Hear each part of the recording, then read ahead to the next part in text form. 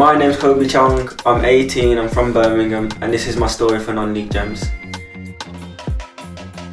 My earliest footballing memory is when I was two years of age, playing at strike soccer schools in my local area. My dad's always been my trainer throughout most of my life. When I was around eight or nine, we started training a lot before school. I would train in the kitchen and we would practice a lot of kick-ups to master my technical ability. That's when I started realising I was I was different from some of the other lads. I had a bit more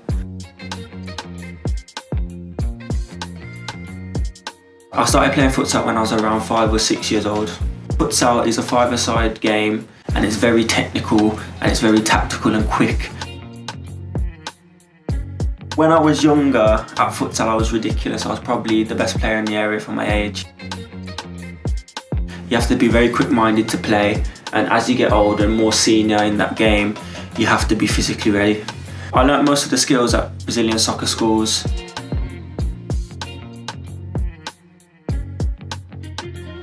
I would describe the Brazilian style as a lot of flair.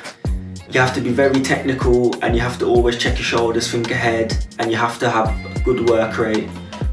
But as a result of these skills, I just knew how to beat players. I started getting interest from West Brom when I was around 10 years old. They knew about the programme already, and at the time, a lot of clubs were looking at futsal players.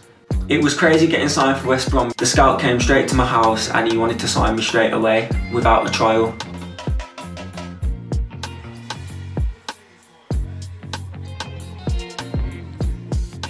So I stayed at West Brom for two years. My dad had a friend over in Portugal who knew a scout for Sporting Lisbon. So I ended up going AWOL from West Brom's academy and I went on trial to Sporting Lisbon. It was definitely a situation where we just had to leave everything behind and go. For them to choose me to even come in on trial was a massive thing and a massive experience. To go to the academy which produced Cristiano Ronaldo but it was a difficult, difficult experience because I was so young. After those two weeks, unfortunately, it didn't go well.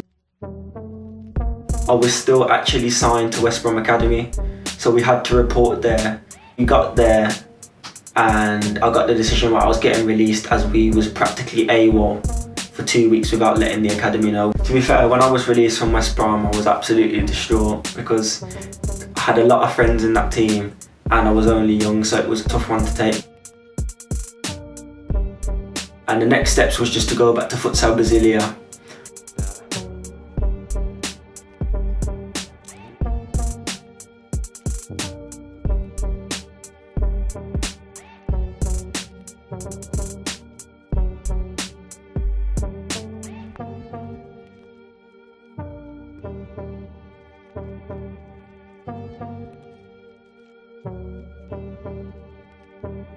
and then I started playing at Kidderminster Harriers in the Junior Premier League.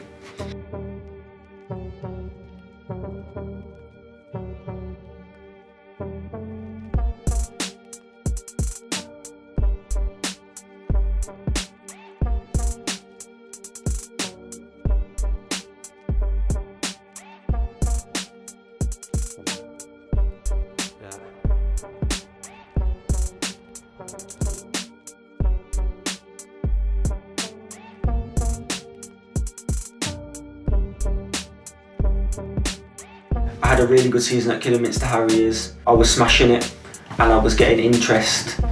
I was picked for the best team in the league, the representative team of the top 11 in the league, and I started a game against Southampton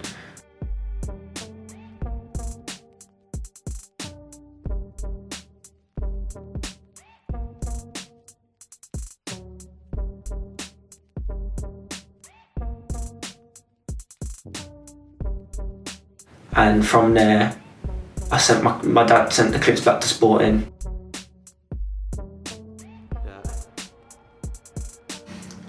Cagliari saw the footage and they decided to fly me over for a tournament. So I went on trial and I played in a tournament um, under coach David Suazo who's an Inter Milan legend. crazy compared to Kidderminster Harriers in the Junior Premier League and next thing you know, in the squad against Juventus, he was mad. Bit of a roller coaster because I went from sporting going not quite well, I went from West Brom disappointing, then to this mad opportunity in Italy for a Serie A club which is top flight.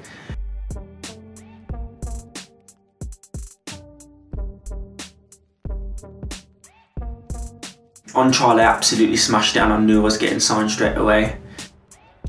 Some of the things I was doing they've never seen before. So then I was invited back to then train with them at their training ground in Sardinia. And from there, he decided to sign me, he told the club he wanted me to sign. And I stayed there for three years.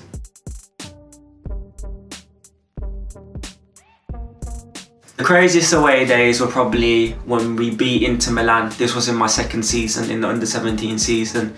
We beat Inter Milan in a historic win for the academy.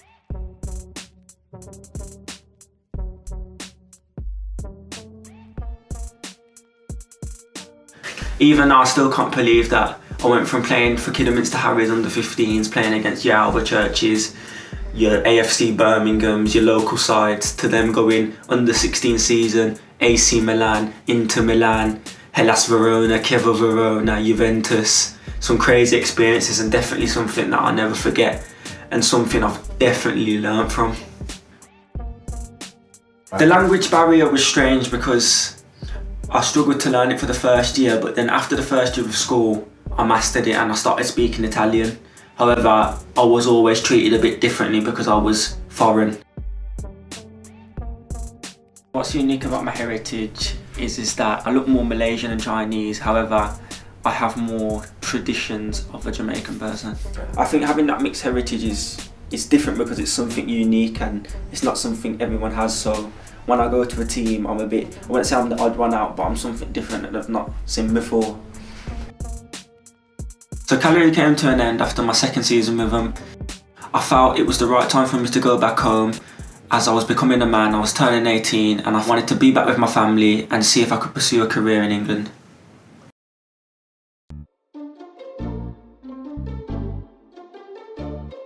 I would say the main difference between non-league and under-17 football in the top flight in Italy is it's just genuinely the fight to win, the mentality and also the game management side. In non-league, you have to realise that people have got to pay the bills, they've got to win, they've got to stay in the team, otherwise if they lose once, they're not going to be in the team next week. However, in youth football, the team usually always remains the same and people get a second chance, however, non-league's brutal. If you're not up to the standard, you won't stay in the team.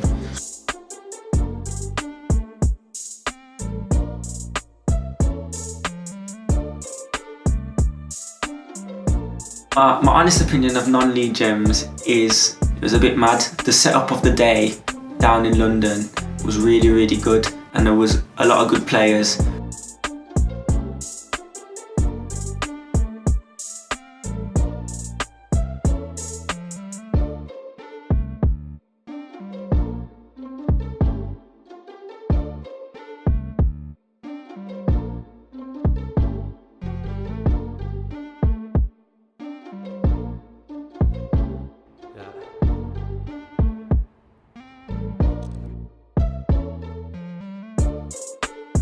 At the event, I spoke with the guy who organises it, Peter, and I had interest from a few clubs. I went down to Brentford. I was back showing what I could do. In my first game against Braintree Town, I got two assists and I did really well. I then went to play against two other teams and I played really well. The coach had spoke to me and he wanted me to stay for another training session, which I did so. Then I went home and I was told I'd be getting a call and I would be getting a contract off of six months. So I was buzzing, then I got a call and I was told that that offer's been withdrawn and I'm not signing there anymore. It was disappointing, but it was just another, it was another bump in the road and I started to use it as motivation as I know that I was good enough for the level.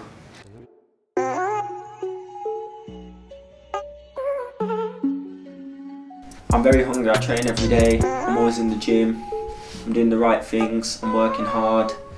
I play a lot of football, I'm still full time, so yeah, I'm, I'm trying to do everything to get there. Well, recently I've had a lot of lot of people from Malaysia on my social media um, and they're supporting me and following me and seeing what I'm doing and you know it's nice having that. My short-term goal is firstly to represent the country. I would like to represent Malaysia because I know there's a big big fan base over there and me being from England it would be something special come back there and show what I can do.